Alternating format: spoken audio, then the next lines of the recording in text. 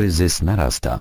Kirgistan zamka granice szef służby bezpieczeństwa Kirgistanu, nakazaliśmy zamknięcie granic. P.O.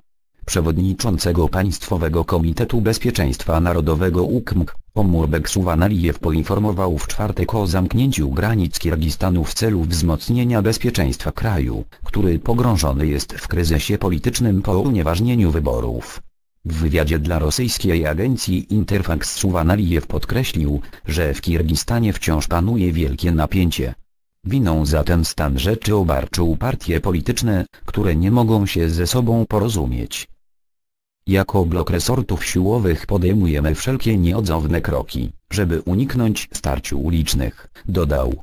Wyraził opinię, że przedstawiciele partii, powinni jak najprędzej zasiąść przy stole rozmów, by zapobiec dalszej destabilizacji.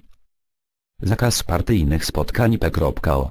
Przewodniczącego UKMK poinformował jednocześnie o wydanym przez siebie zakazie organizowania jakichkolwiek spotkań o charakterze partyjnym w pomieszczeniach struktur siłowych. Zabroniłem organizowania takich spotkań w Komitecie Bezpieczeństwa Narodowego, siedzibie Gwardii Narodowej i w Ministerstwie Obrony, powiedział.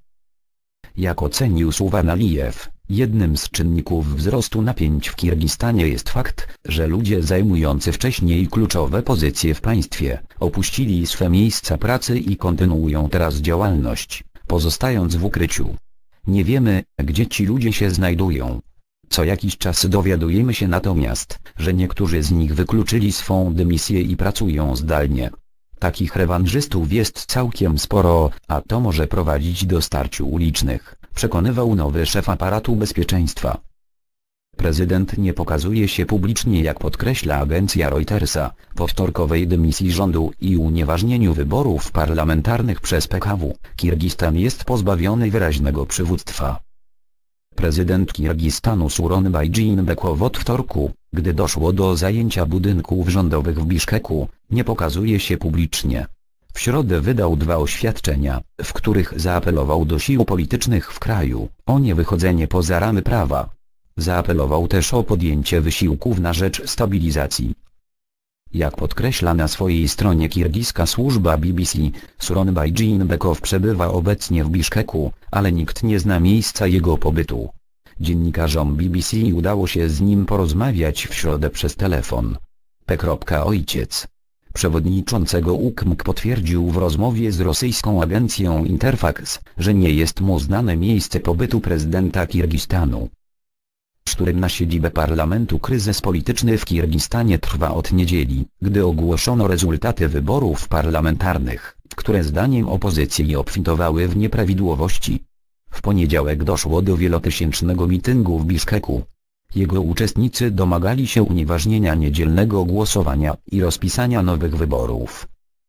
We wtorek doszło do szturmu protestujących na siedzibę parlamentu i administracji prezydenckiej.